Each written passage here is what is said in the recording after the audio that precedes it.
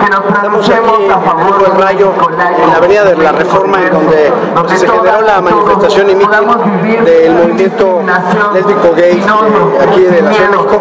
Porque bueno, del otro lado del ángel, ahorita van a ver, resulta que está el movimiento este, esta gente que está acá atrás, que son los, eh, los cristianos y la derecha conservadora que están acá, que bueno, vienen a, a ver por acá de este lado, se pasean entre nosotros, traen sus banderas, este, ha habido bastante provocación, muy pasiva como les gusta a ellos, pasivo-agresivo.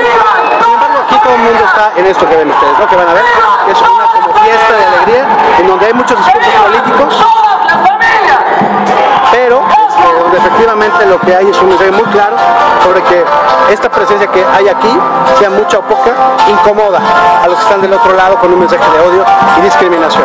Y bueno, aquí es muy chistoso porque este pasaje lle- llega mucha gente en esta especie de andador que se ha creado, que vienen muchos del otro lado que vienen aquí a, a vernos, ¿no?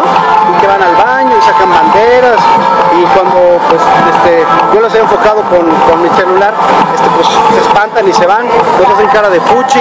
Este, no sé por qué tienen esa necesidad de venir cuando nosotros no hemos ido para el otro lado. Pero bueno, aquí estamos y ha habido una serie enorme de discursos sobre los derechos, desde los más eh, democráticos y abiertos, así enormes, hasta los que son más radicales y dicen esto tiene que cambiar ahora.